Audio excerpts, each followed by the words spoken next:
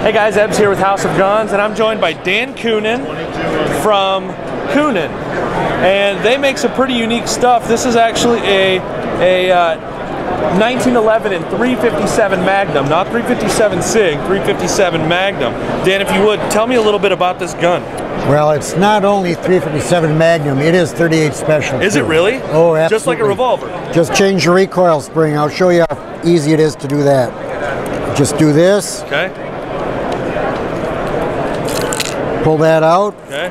put your other one in, your, Okay. your 10 pound recoil spring, put that back on there like that, and then just And it'll shoot Shoot 30 yeah, 38. 37 and 38. Yep. That's fantastic. I didn't realize that. I did, honestly, in my own ignorance, I didn't realize that there was uh, a pistol out there that would that would shoot as an auto 357 and 3 and 38 special. You hear about it in revolvers all the time. Well, you know what's neat about 357 Magnum cartridges? You can shoot bullets as light as 110 grain bullets and as heavy as like 230 is as much as I've ever put in there. 230. 230, a special um, bowling pin load. Wow, that's a heavy. That's a nine millimeter in a 230 grain. Yes.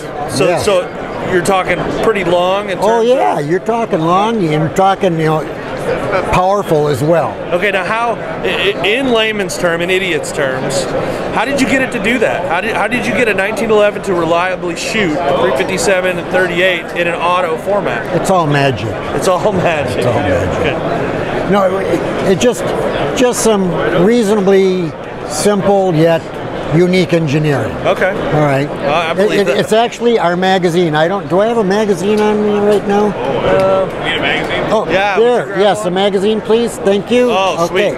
Sweet. And what's unique about this magazine is that we have an articulated follower. So as we bring the follower down, the follower file follows this angle, and that allows the cartridges to go the angle like that, and that prevents the rims from getting caught on top of the other rims. Okay, so so they're they're put in, and so they're like sort of the rims are sort of stacked. yes, absolutely. And then they just feed off, and they're not catching on the on the rim under it. absolutely. Okay. And this magazine works with 38 specials or 357 Magnum. And so then with this little guide button you have, there's no tilt to it at all. Absolutely. And you can either, these are easy load magazines, you can load it by hand, you can put a, a loading tool through here and pull it down like this. Oh, I love that. Like a Oh, rimfire yeah, magazine absolutely, almost. yeah, That's yeah. cool. Or you can just pull it down but with your fingers like that. Okay. And and uh, tell me tell me about your manufacturing. All done in house. It's almost all done in house. We have a couple of parts that are sent outside for special operations. Our barrels are done outside. Okay. Um, but the other parts are done in inside. The machining, we have an investment casting house make up our investment castings, Okay. and we finish them off in house.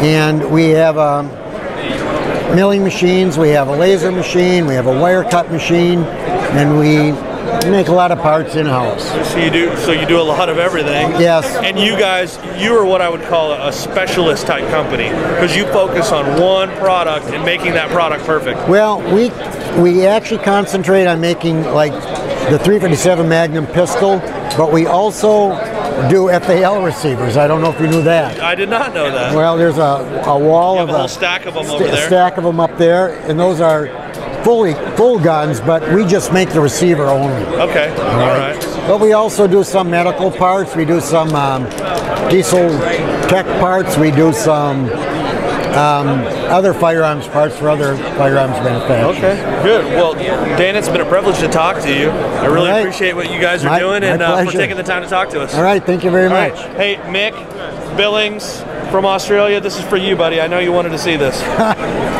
Eat your heart out. Ah. Good stuff.